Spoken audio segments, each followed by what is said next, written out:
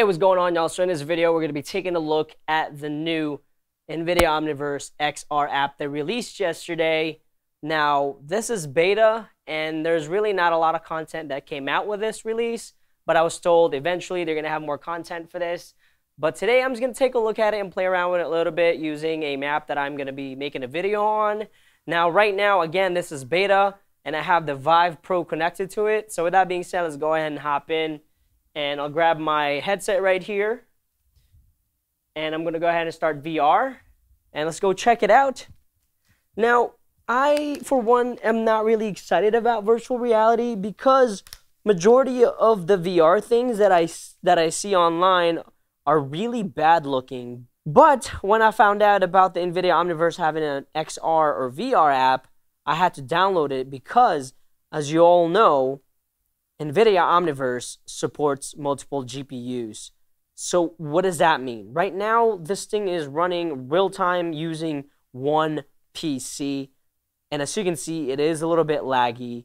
But with NVIDIA Omniverse, like I said multiple times before, it supports multiple GPUs. So what does that mean? Well, that means that this thing here, this app, can potentially increase the quality of virtual reality.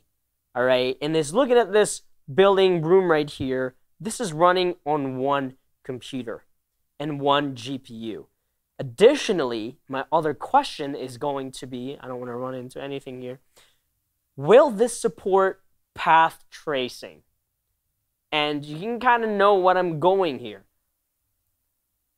Multiple GPU support a VR app that can run path tracing. That's going to be insane if that is going to happen in the future. I have been wanting to create a VR type game, a scary VR type game where, you know, it's photorealistic. Because, like I said, right now, majority of the VR stuff are just really still gamey. But what if you can take a quality like what you see here in path tracing using multiple GPUs, man, you can really scare the crap out of some people. Now, I don't really know where I am in real world now. I know, okay, so I see the controller over there. So let me go ahead and spin around. I think I know where I am. But my goodness, this supports ray tracing natively, and you can see it on the reflections on the floor. Again, this is beta. I mean, I don't even know if I'm using this right, but look at those reflections. This looks amazing. Now, obviously, as far as shadows and lighting goes, I didn't light this. I there's think there's like a standard light that came with it right now that I just use. I'm using right now. So again, you can finesse the lighting here. But this looks freaking cool. And I will put this tracker right here so I know what is in front of me. And let's go ahead and hop in there. All right, so I think, oh, I was in the window. So here is the bedroom. Obviously, the scale is off because I look like a minion right now. I'm pretty short. Um, but my goodness. So I got that so that my desk should be right there. So I can actually go left here. And I'm just going to reach out so I don't run into anything. I'll put a chair right here so I don't kind of get out of bounds.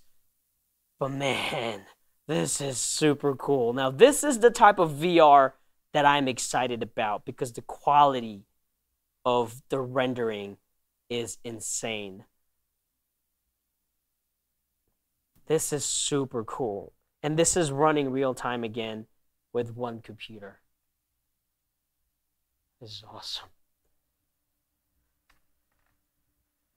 It's so funny because oh, I just ran, I just ran into something. I really need to start putting bounds. That's whoa. Okay, I'm running into that window there. Okay, what's over here? Okay, yeah, all right, cool. But yeah, I just really wanted to play around with this because I've had this Vive Pro since like Thanksgiving of last year. I got it during Black Friday. I got a pretty good deal on it, but I actually haven't used it for anything but using the camera uh, controller as a tracker in Unreal. This is my first time actually using it in VR. But man, wow. I have no reflections. I'm not real. This is too cool. This is way too cool. I really want to make a scary video using this hopefully one day. Because I love horror, man. But yeah, that's pretty much it. I just really had to make a video about this and really just to test it out and share it with y'all. If y'all have any questions, let me know, and I'll see y'all later.